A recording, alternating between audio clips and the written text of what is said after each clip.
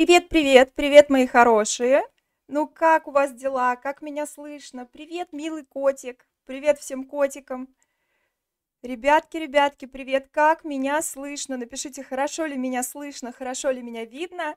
А, все ли вы, кто хотел, уже присоединился? Или потихоньку ждем еще кого-то? Может, зовете, ждете своих одноклассников? Приветики, приветики я вам хотела сказать, ребята, что... Слышно хорошо, отлично, котик. Котик, напиши, пожалуйста, свое имя, чтобы я тебя знала. Я всем своим ребяткам, кто присутствует на вебинаре, даю полезные файлики, да, поэтому файлик по свойствам живого вас будет ждать в телеграм-канале. А сегодня мы с вами займемся непосредственно первым заданием УГ. То есть это 100% то задание, да вообще все задания, в принципе, которые мы будем прорешивать, они 100% будут давать вам 1 балл, как минимум точно. Настюша, привет, солнышко, подписывайся на телеграм-канальчик, там а, есть все файлики, ну и я вас буду знать, и конкретно вам, кто приходит, скидывать файлики. Так, ну что, что мы сегодня делаем, Настюша и все остальные ребятки, кто пришел?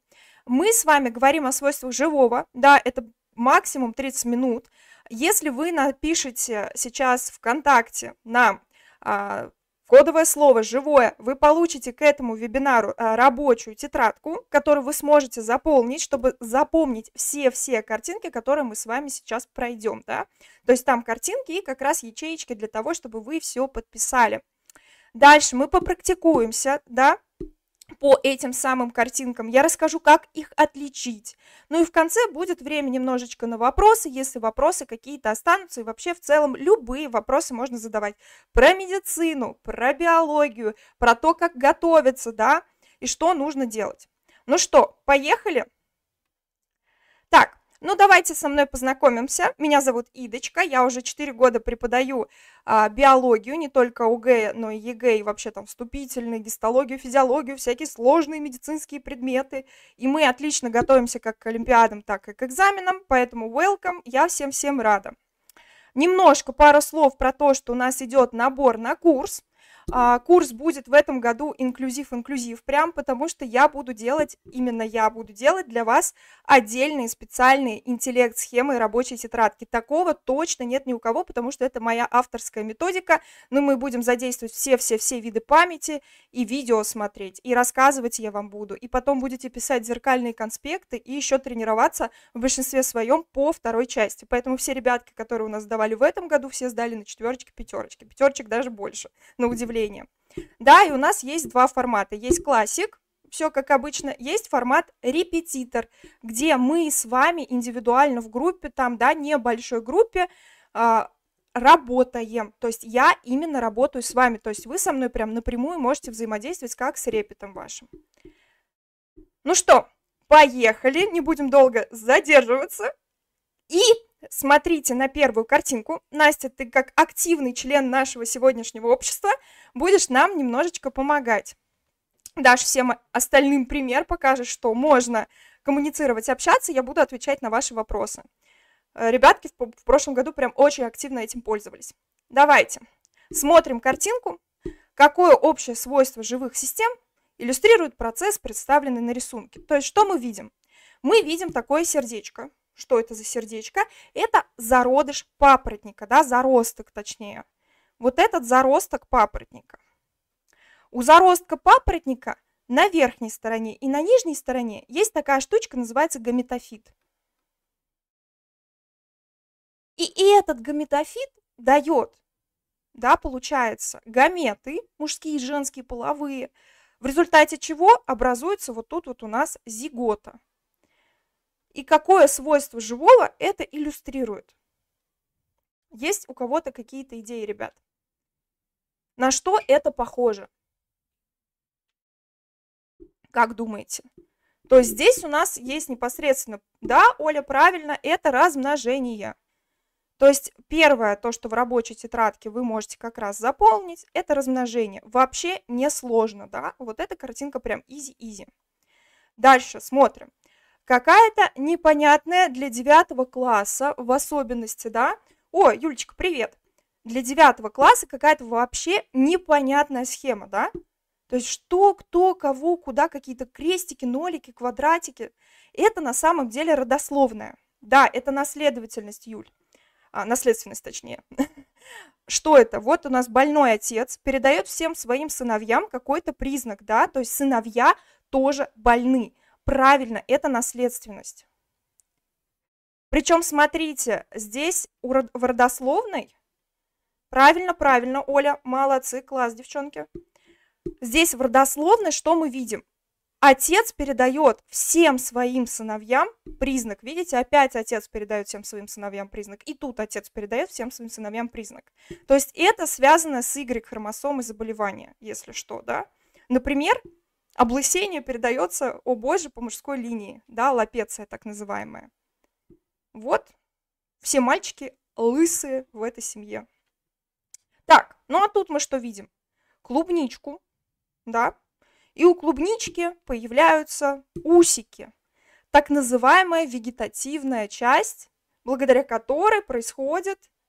Что происходит? Ну, вот сейчас разогреваемся на таких простых примерах, да? Но именно эти картинки, они из банка, если что. Тут у нас, видите, большая клубничка отрастила усики, и хоп, от этого усика пошли корешочки. Размножение, да, это тоже размножение. Причем это вегетативное размножение, да, не путайте э, усики, например, у гороха, который закрепляется с помощью своих усиков на каких-то возвышениях, да, на деревьях и так далее, на заборчике, и усики клубники, которые нужны чисто для размножения. Ну, ничего страшного, зато вот теперь, Юля, то, что ты сказала, вполне себе подходит. То есть что мы видим? Мы видим, что у нас есть зиготка, и она такая топ, топ, топ, топ. И вот этот процесс, это процесс так называемое дробление, да? Когда клетки активно делятся, то есть получился эмбрион, слил, слилась мамина яйцеклеточка и папин сперматозоид, получилась зиготка, и тут она хоп-хоп-хоп начинает дробиться, дробиться, дробиться, дробиться, да? И это процесс как раз дробления. И вот тут можно сказать как раз то, что сказала Юлечка, это развитие. Так что коты, вот оно развитие. То есть если вы видите эмбрион, если вы видите вот такую картинку, это развитие. Так, теперь давайте думать тут. Тут у нас томат, растение томата, которое иллюстрирует свойства. То есть вот обычное растение, оно хоп-хоп-хоп, можно сказать развитие на самом деле. Оля не то чтобы не права, да, это развитие, но я бы больше сказала рост, конечно. Но в критериях ответа дается рост, развитие, пожалуйста. Можно и так, и сяк. То есть если вы напишете что-то другое, вы не ошибетесь. А вот тут вот интересно. Тут интересно, потому что здесь есть очень интересный критерий ответа к этой картиночке – то есть что мы видим? А, мы видим растение, да, обычное деревце наше, которое зимой и летом не одним цветом, то есть оно осыпается, оно растет. Да, можно сказать, что цикличность, но точнее лучше ритмичность, да, у нас свойство живого ритмичность. Ритмичность.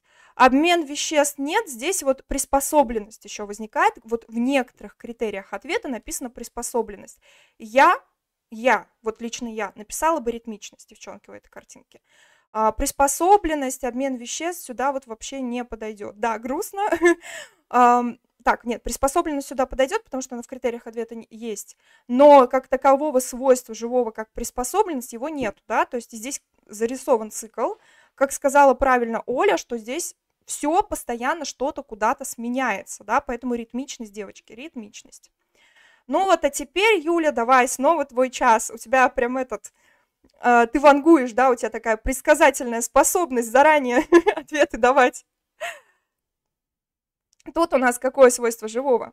То есть здесь поступил кислород, поступил углекислый газ. Если что, мы все помним, что, э, да, Оля, правильно, что у нас растения тоже дышат, да, то есть они из углекислого газа получили себе С6H12O6, и дальше его в митохондрии также окислили и получили СО2, из этого окисления его выделили как бы, да, и получили АТФ. То есть они тоже дышат, не только фотосинтезируют, но и дышат. И тут мы видим, что выделяется еще и водичка, да. Так, это транспирация. То есть, да, обмен веществ ОВ. Я пишу ОВ, это я так сокращаю, если что, вы в бланке пишете обмен веществ полностью. Угу. Так, ну а теперь наши любимые прекрасные голуби. Вот это в этом году попадалось. Вот прям реально, все, что мы решали а, на тех вебах, где были прогнозы, да, там прям классно мы все активно решали, все это попалось. Так что, пожалуйста, прям приходите, слушайте. Мы как бы вот такую быструю, прям моментальную практику вам устраиваем на 30 минут. И вот это вам прям даст возможность заработать пятерочку. Изменчивость, правильно, что мы видим? Мы видим обычного нашего голубя, да, и этот голубь дает прекрасных разных э, голубей с разными признаками. Вообще это, конечно, продукт селекции, отбора, но да, это изменчивость. Молодцы, девочки. И Оля, и милый котик Настюша. Прям молодцы. Это изменчивость. Повторяем, повторяем. Кстати, хочу вам сказать, что все свойства живого, которые мы сейчас с вами просматриваем, все эти картинки, да, мало того, что рабочая тетрадка у вас есть а, в ВК, то есть вы пишете живое, еще раз напоминаю, ВКонтакте вам рабочая тетрадка закидывается со всеми этими картинками, я специально для вас сегодня подготовила. Так еще вы можете зайти в телеграм-канал, и там я сегодня закреплю сообщение с полезностью про все свойства живого. Залетайте, пожалуйста, в описании есть телега. Ну, как бы все полезные файлики даю просто так. Ну и оповещения будут приходить. Да, девчонки, что мы видим? Мы видим, что тут бежит конь, лошадка, тык -тык -тык -тык -тык -тык -тык, да? И какое свойство живого это? Конечно, движение. Вот где-то движение как свойство живого не дают. То есть в теории вы можете не увидеть его. Но в экзамене оно есть. Так что запоминайте эту картинку. Так, э, самое интересное, если что, вот самые интересные и сложные свойства живого будут в конце. Мы почти продвинулись к ним.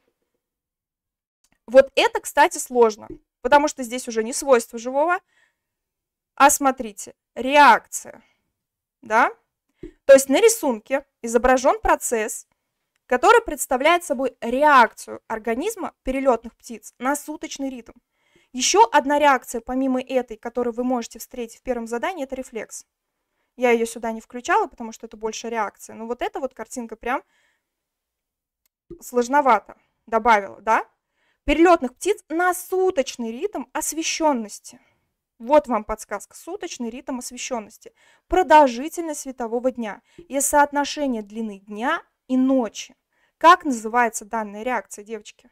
Кто нам скажет это сложное длинное слово? Не буду вас, наверное, прям мучить слишком. Э, могу подсказать.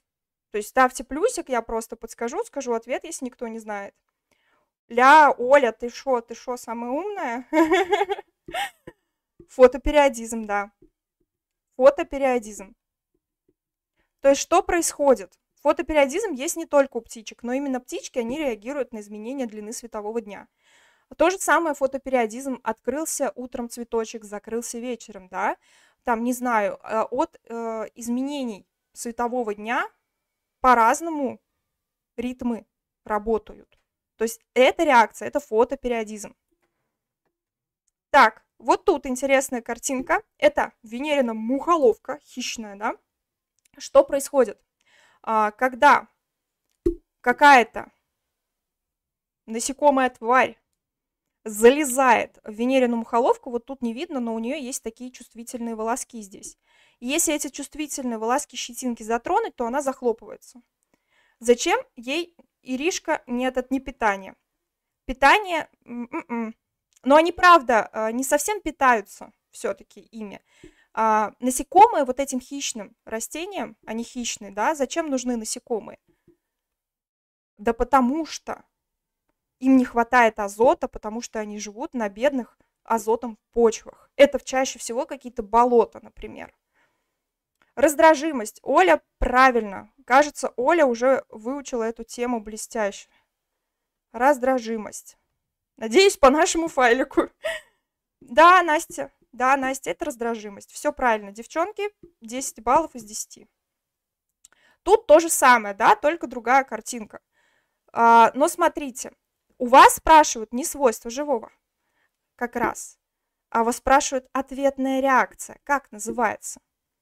Напомню, кто не знает, на картинке, вот в тексте можно найти, да, гидра, гидра. И при этом возбуждение от раздражения одной из нервных клеток передалось по отросткам других нервных клеток, а от них кожно-мускульным мешкам. Ой, клеткам. Ну, клеткам кожно-мускульного мешка. Да, девчонки, это рефлекс. Смотрите, почему и девчонки, и мальчишки, если присоединяетесь, просто я вас не вижу. А, смотрите, в чем прикол. Вот есть раздражимость, миллион раз, если скажу еще раз, да, это свойство живого. И рефлекс. Вот в чем разница между раздражимостью и рефлексом? Как бы, да, непонятно, в чем разница. А разница есть. Раздражимость – это свойство живого там, где нет нервной системы. А рефлекс – это свойство живого там, где есть нервная система. То есть рефлекс – это реакция организма на раздражитель, опосредованная нервной системой. То есть если это какая-нибудь амеба, какое-то простейшее, а, какое-то растение, там нервной системы, конечно, нету, поэтому это раздражимость. Если появляется нервная система, то это рефлекс. Запомнили, намотали, все отлично. Так, дальше. Ну, здесь легко, здесь просто амебка делится пополам, да, эукариотическая клеточка. И это у нас с вами как все говорили, я даже не буду тормозить никого, это размножение, да? Просто размножение. Так, чего-то у меня запись отстает. Ага, все. Мы тут. Я думаю, всем все понятно, да, что это размножение. Так, что здесь? Тоже, думаю, вам будет легка эта картинка. То есть, что мы видим? Бабочка-белянка у бабочки мы видим, она отложила яйца, из яиц вылезла гусеница, гусеница завернулась в куколку, и дальше куколка превратилась в прекрасную бабочку. И причем, да, это, это девочки правильно, и Ирина, и Ольчика молодцы, развитие. Прям, девчонки, кто был активен, напишите мне, я вам скину полезные файлики в телеге под постом, если напишите, я вам прям личные файлики поделюсь с вами. Так вот, это у нас развитие, да? В чем здесь прикол развития? А, здесь немножко про бабочек скажу.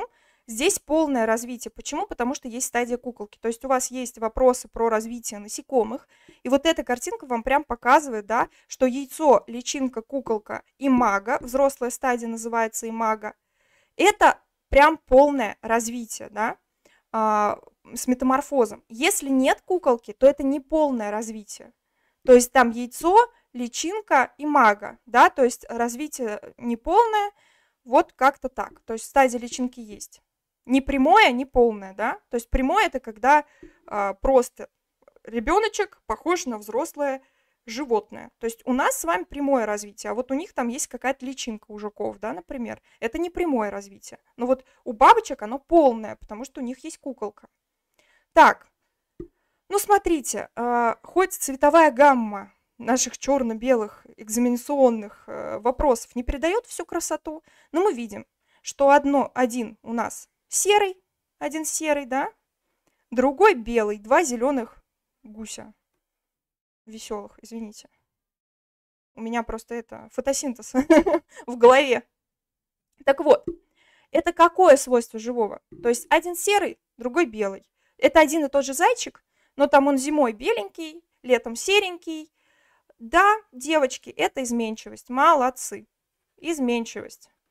То есть в зависимости от условий среды, причем изменчивость это модификационная, не наследственная. Помним изменчивость, если мы напишем схемку изменчивость, она делится на наследственную, наследственную и ненаследственную.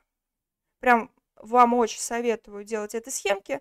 Наследственная это мутационная, да, и наследственное это, например, комбинативные, новые комбинации, да, когда сперматозоид с яйцеклеткой сливается, там новые комбинации хромосом возникают, и поэтому новые признаки.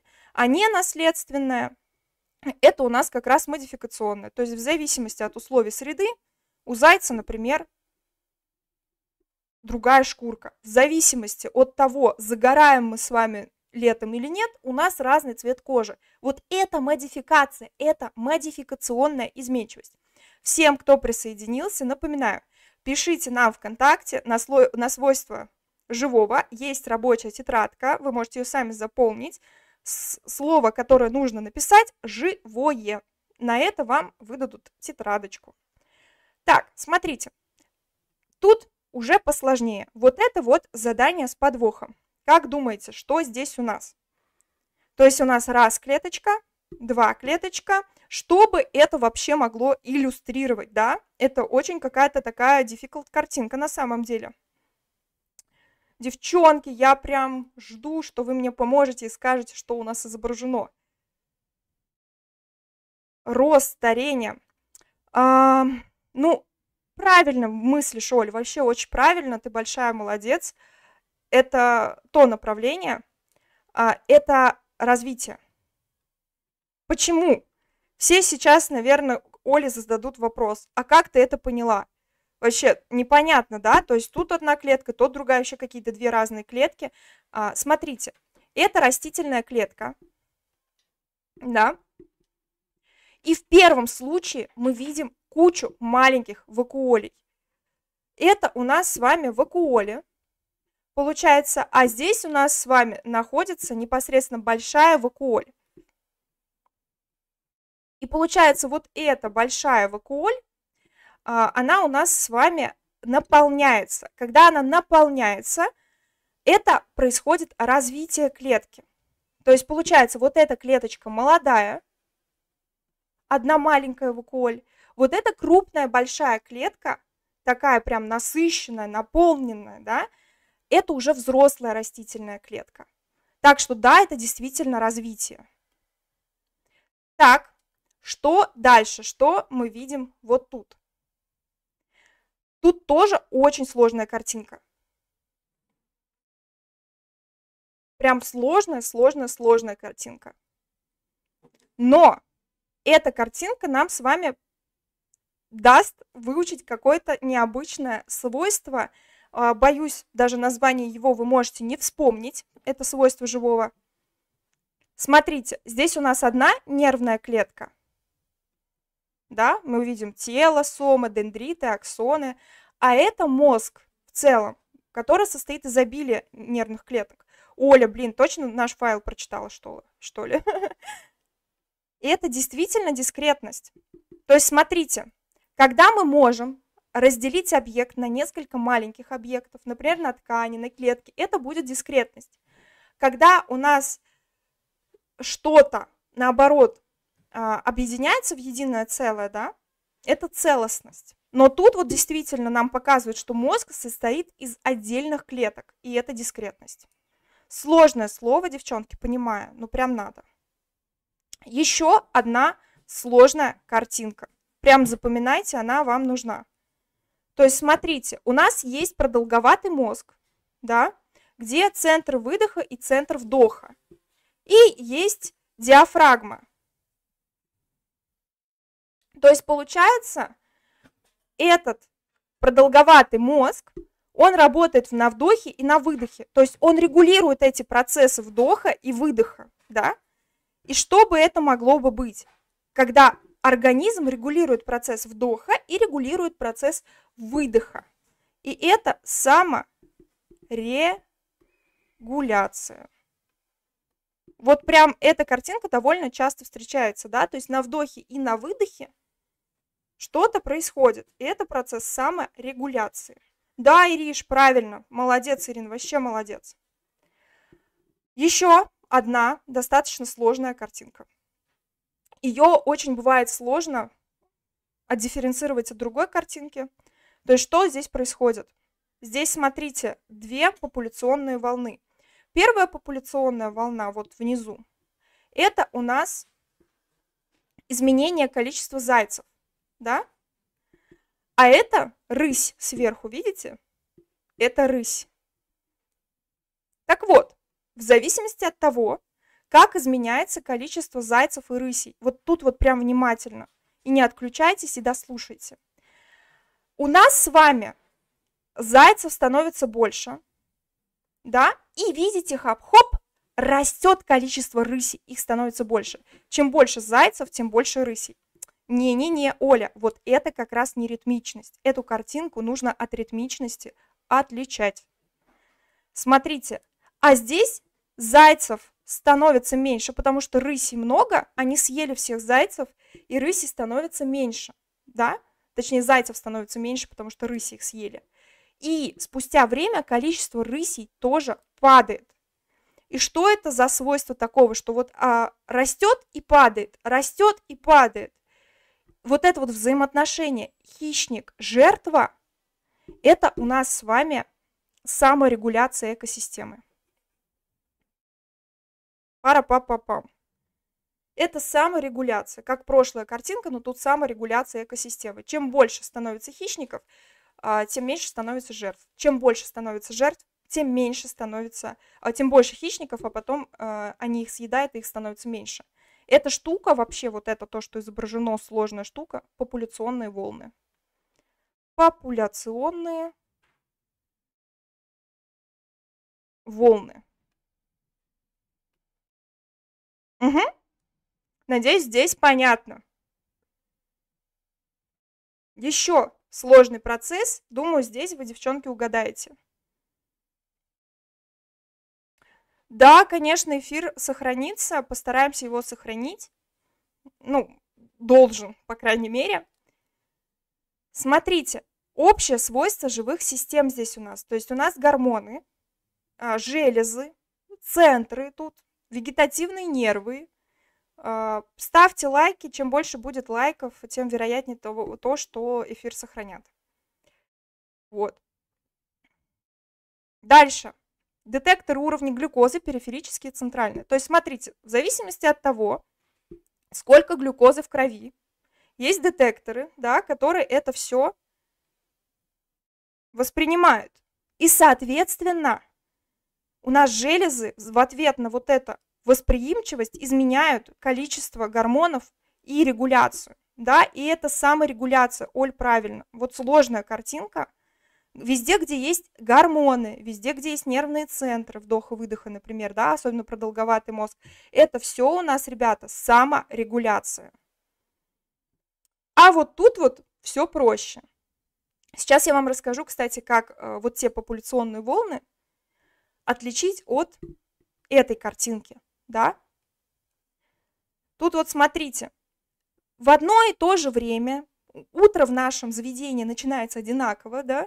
Он проснулся, у него все хорошо, там в обед э, активно, до обеда прям очень активно, потом пам-пам, что-то там 12 часов, все, кушаем как-то неактивно, потом э, с обеда, после обеда до там 18-19 прям пик активности, да, и все, и вечером все спать. Какое свойство тут у нас? И каждый день все одно и то же. То есть наш жизненный ритм, ну, блин, Оля, опять цикличность. Я же говорила, ритмичность говорим, ладно? Ритмичность. Цикличность правильное слово, как бы суть отражает, но свойство живого называется ритмичность. Вот. Винсент Ван Гог у нас прав. Что-то там сложное второе. Так вот, Смотрите, ребята, если график повторяется, если у нас там ЭКГ как сердечко бьется, и если в целом график у нас вот такой правильный, то это ритмичность. Если график вот такой вот какой-то непонятный, то это у нас с вами саморегуляция в экосистеме, да, он там вот так туда-сюда, как подпись вашего врача, педиатра, да, вот такая же, если вот как подпись врача-педиатра, как по почерк мальчишек, это саморегуляция. Если красивый, правильный, ровненький график, это ритмичность. И он причем повторяющийся, смотрите. Вот, тоже, опять же, мы что видим? Какой график? Красивый, ровненький такой весь. Вверх-вниз, вверх-вниз, да? Туда-сюда, туда-сюда. То есть это у нас как раз-таки тоже ритмичность. Потому что каждый день в нашем заведении начинается одинаково, да? В полдень туда, в полночь сюда, в полдень туда. Да, Ира, правильно. А вот тут интересно. То есть, если у нас желто-оранжевые таракашки, то они дают желтых и оранжевых таракашков. Если желто-черные таракашки, то они дают вот таких же похожих таракашек. Тут можно два свойства как бы назвать. А, вообще это, конечно, эволюционное правило эффект основателя, то есть какой таракашек у нас основ... основ... все обоснует популяцию, какой таракашек там куда-то перелетит, жучок, червячок, да, вот его есть признаки, Юль, можно, можно сказать, что изменчивость, но и тут как бы и наследственность, видите, еще прослеживается. Но та изменчивость, а, это Ирина сказала изменчивость. Ирина, изменчивость, да. Юль, можно сказать э, наследственность, но здесь ответ именно изменчивость первый. Почему можно сказать, что наследственность? Потому что здесь эффект основателя. Вот кто перелетел образовывать популяцию, тот эту популяцию и образовал, и дал таких же потомков. Но тут я напишу изменчивость. Почему? Потому что это критерий ответа, и они все разненькие, видите? То есть был такой основатель, стали немножко отличаться все, да? Это изменчивость.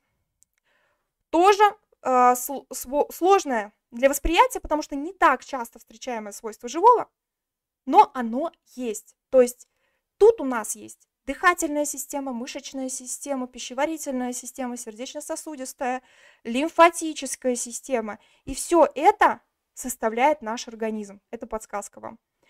Из этого всего мы с вами состоим. И какое это свойство живого? То есть мы состоим из всего-всего-всего-всего, что сюда включается. Целостность. Правильно. Это самое, что ни на есть настоящая целостность. То есть, видите, целостность и дискретность, они друг друга противовешивают. То есть, если мы состоим из всего, а, то это целостность. А если мы это все можем разложить на части, то это дискретность. Видите, это два противоположных аспекта, это два противоположных свойства живого.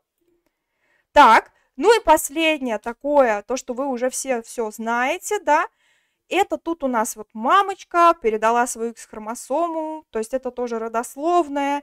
Здесь папа передал свою Y-хромосому, X туда, Y туда, все скомбинировалось. Это какое свойство живых систем, что мы кому-то что-то из своих генетических материалов, из своего генофонда, генотипа точнее, да, генофонд это в популяции, генотип это у человека, передаем. Юля, правильно, это наследственность. Наследственность.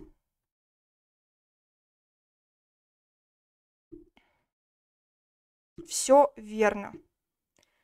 Ну что, мы сегодня с вами большие молодцы. Мы посмотрели все свойства живого. Еще раз напоминаю, пишите, пожалуйста, э, ВКонтакте э, свойства там не свойство живого, а просто слово «живое», кодовое слово, и вы получите рабочую тетрадку. Ну а если вы напишите под постом в телеграм-канале мне, я вам вышлю полезный материальчик.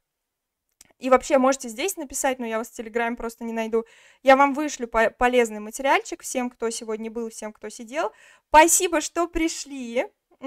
Целую, просто спасибо огромное, мне классно готовить материал, когда вот такая есть активная работа, поэтому будем это делать еще в субботу или, скорее всего, в пятницу и субботу, возможно, в воскресенье планируется еще два вебинара, где мы будем прям активно вот так штудировать занятия, занятия, задания. Так что приходите, всех жду, всех целую. Пишите мне в телеге, я вам всем пришлю полезные файлики. Можете даже написать тему, которая бы вам а, ну, была сложна, которую бы хотелось разобрать, но я думаю, что на этой неделе мы настроим вебинар по обмену веществ, то есть поговорим, что может быть в 26 задании, а, посмотрим все, какие вопросы могут быть в последнем задании, да, а, вот как минимум так. Все, всем пока, до встречи! И немножечко, кстати, про курс. Записывайтесь на курс. Мы там активно также будем готовиться. Пожалуйста, два формата. Классик, репетитор. Всех жду. У нас очень классный, насыщенный курс. И я буду его прям очень-очень-очень делать в этом году полноценным, насыщенным, давать вам интеллект-схемы и работать по методике биохакинга. Все. Пока-пока.